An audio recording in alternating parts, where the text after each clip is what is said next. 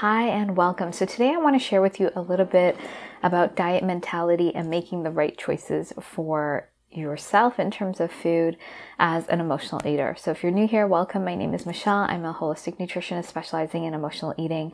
And I wanted to talk about this because sometimes when we are emotional eaters, um, you know, we have so many conflicting and confusing rules around food.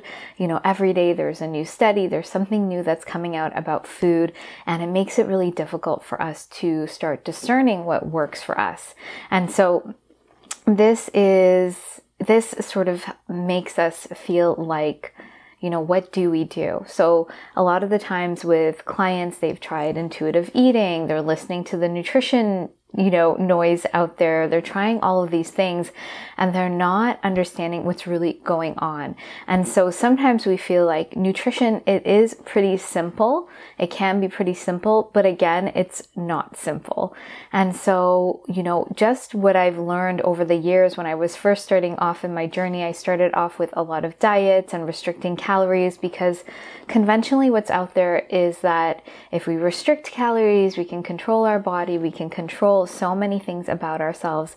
And so this is not something that you know, we think too much about. We're like, if we eat this way, this, you know, this diet sounds good, this sounds good, this sounds good, and we're looking really externally to us. We're not understanding how food works in our body. And something that I found is that we need to really look at how our body feels. So when there's so much conflicting advice out there in terms of the food choices and restricting, and when we're emotional eaters, we are not as in tune with our body. We're um, disconnected from our body, from food, from our emotions. So we're really taking in a lot of external information, trying to make it fit. And, you know, there's a lot of um, information out there. There's a lot of science and data that seems really compelling. And I totally get it because that can help us make choices for ourselves. But what I've found is that the external diets, they are not helping us discern what works for our body. So us understanding our body is a really big missing component from all of it, all of the diets out there. It's not really helping us tune into what works for us. And so when I was on my own emotional eating journey, I was you know, I could see if I ate a certain way how I felt. I experimented with a lot of diets, but it was really about restriction. What would sort of give the external result the quickest? And over time, when the same diet wouldn't give the same result, I knew there was something more going on. And so we really need to tune into our body, into the food choices that we're making to see how it works for our body. And so this is why when we're working through our emotional eating pattern, we need to connect back to food. We need to connect back to true nourishment. So true nourishment doesn't mean that here is, you know, a step by step of you eat this, you eat this, you eat this. There are principles involved in um, nourishing your body, in understanding how your body works, seeing your stress patterns, especially when you're an emotional eater. It's not just you're a blank slate and your life is completely calm and you're eating foods.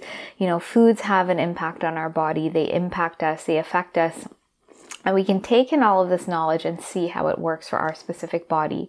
And the reason I wanted to chat about this is that sometimes I have clients come in and they'll ask about gluten. I should be avoiding gluten. Yes, no. And so there are different levels of understanding food. You know, um, wheat, for example, in uh, Europe, it digests differently for a lot of people versus the wheat in North America because of the hybridization process. Um, depends on if it is organic, if it is sprayed.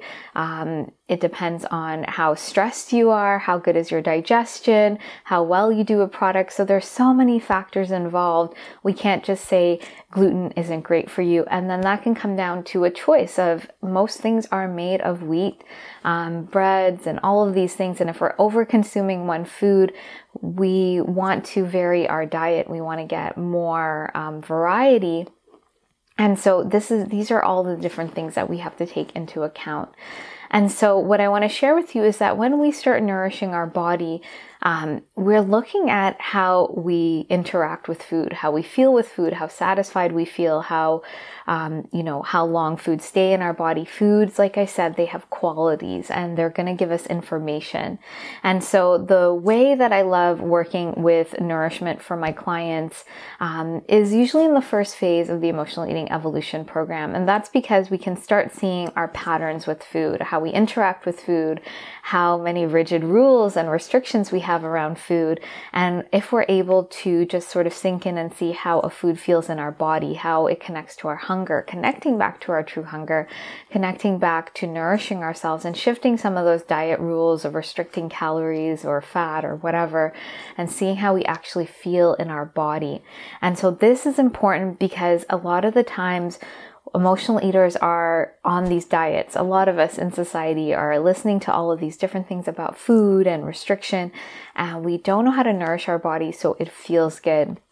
And we need to understand some principles around food and nourishment and understand our environment and the society we live in. And so the way I love to do that is with clients really getting in touch with their natural body cues, um, taking in a few um, specific strategies to create meals that satisfy all components of hunger, that they're having daily bowel movements, that their digestion is optimized so we can see how well um, their body feels eating a certain way and how they feel in their body. How are their moods? Are they imbalanced or not? Because our, our gut and our digestion impacts our mood. And so when things are more in harmony and balance, we're going to notice um, certain results with our body and shifting of our nervous system. So this is just one key area that we need to look at as emotional eaters because stress and uncomfortable emotions and distress is what really puts us into this pattern but stress can be coming from the way we're eating and the types of foods we're eating and the restrictive mindset we have around food. And so we want to really be looking at that and shifting that at the same time.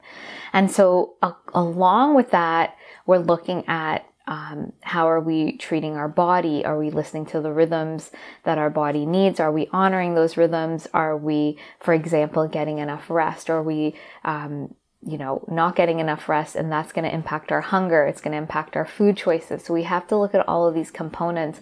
And then, of course, our emotional regulation and our triggers around emotional eating. Are we looking at those at a deeper level?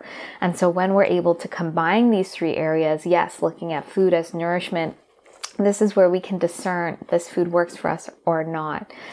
And something I want to add in here is that, you know, emotional eating is a coping mechanism. So beyond the food, we have to look at what we use the food to soothe ourselves from. What is the addictive quality we have to certain foods? And when we're able to discern that more and more, we're going to know our true hunger from our emotional hunger. This is why I don't like intuitive eating because it just sort of says whatever food pops into your head, you go to, and it doesn't leave you with tangible steps of discerning true versus emotional hunger. And that is so important because it doesn't mean it's a genuine, genuine need of your body. And even if we do indulge in, let's say, emotional foods, we're not getting to the root of what's creating that pattern. The food is a band aid, no matter if it's an emotional food. If we are processing and moving through that deeper level of emotions and we do have an uh, our body wants a certain food they can be comfort foods that are going to nourish our body because the emotional process in the body is a physical process. It requires biochemicals and it requires nutrients and vitamins and minerals. So we, our body, after being depleted from moving through our emotions, will naturally want certain foods. And so I remember one time doing this process with my emotional eating and having this craving and wanting to go to the, the processed foods. But I, I sat and I moved through the process with with my emotional eating. And the hunger that was coming up was true hunger. And I wanted a kale salad and I wanted chia and I wanted different foods that would nourish my body and give it the missing nutrients that were probably depleted from that processing. So foods with magnesium and things that will support like that are depleted during a stress response. So this is all to say that emotional eating is really multifaceted and multi-layered. And one step of that is really looking at how we nourish ourselves and finding a way that works for us that we're seeing um, not just we're putting in the right calories or the right foods or the right fats or whatever is prescribed to us seeing how it feels in our body how it digests in our, our body um, through that whole process and how we feel after in terms of our mood and our energy levels. We want to look at all of these components as well well as how are we honoring our body and the emotions around that because they impact how we nourish ourselves as well. So I hope this sort of gives you a bit more clarity on how you're nourishing yourself. Of course, the how to and the step by step of doing that is inside of the emotional eating evolution program. But if you have been trying diet after diet and feeling like it's not working, it's because there are other components that are needed to connect you back to your body, connect you back to food and your emotions to really um, resolve this emotional eating pattern. So if you have any questions about this, please let me know below.